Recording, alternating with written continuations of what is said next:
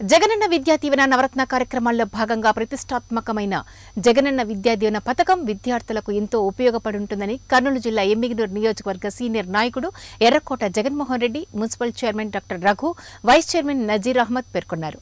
ఎమ్మిగినూరు నియోజకవర్గ పరిధిలోని ఏడు వేల రెండు వందల ఇరవై తొమ్మిది మంది విద్యార్థులకు ఏడు కోట్ల రూపాయలు మంజూరు కావడం జరిగిందని తెలిపారు. ఈ సందర్భంగా వారు మాట్లాడుతూ రాష్ట్ర ముఖ్యమంత్రి వైఎస్ జగన్మోహన్ రెడ్డి విద్యకు పెద్దపీట వేస్తున్నారని అన్నారు.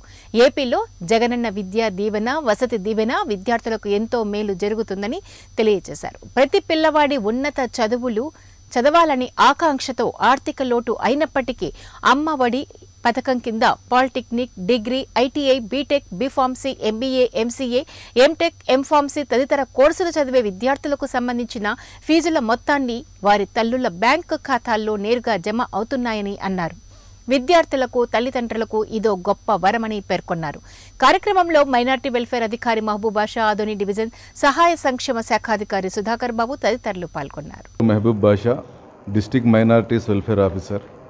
Government పరంగా మన ఆంధ్రప్రదేశ్లో జగనన్న విద్యా దీవెన విద్యా వసతి కింద పేద పిల్లలకి ఏమేం చేస్తున్నారు స్కాలర్షిప్స్ ఏ విధంగా వస్తున్నాయి అనేది నియోజకవర్గం వైజ్గా తెలియాలనే ఉద్దేశంతో ప్రభుత్వం వారు ఇక్కడ కార్యక్రమం ఏర్పాటు చేయమని చెప్పడం జరిగింది. అందులో భాగంగా ఈరోజు ఇక్కడ ఎమ్మిగనూరు కాన్స్టిట్యుయెన్సీలో ఈ principal Siddhartha degree college principal Venugopalachari గారి ఆధ్వర్యంలో ఇక్కడ ఎమ్మెల్యే గారు చైర్మన్ గారు వైస్ చైర్మన్ గారు మిగతా ప్రజాప్రతినిధులు మరియు స్టూడెంట్స్తో ఈ కార్యక్రమం చేయడం జరిగింది.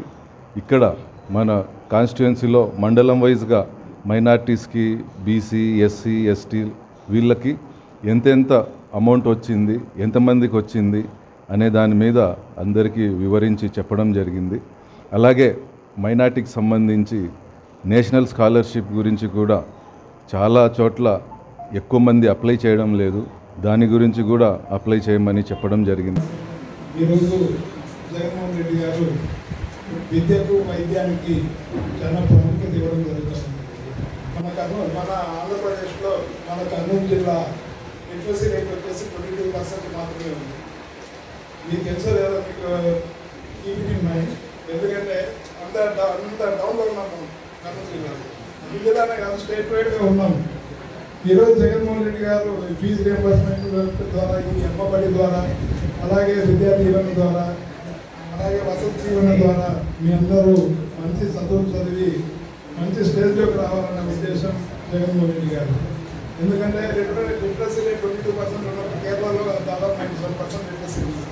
మన ఆంధ్రప్రదేశ్లో ట్వంటీ టూ పర్సెంట్ అంటే చాలా తక్కువ ఎస్పెషల్లీ మన డిస్ట్రిక్ట్ ఇంకా కాబట్టి మీరంతా ఈ అవకాశాన్ని వినియోగించుకోవాలి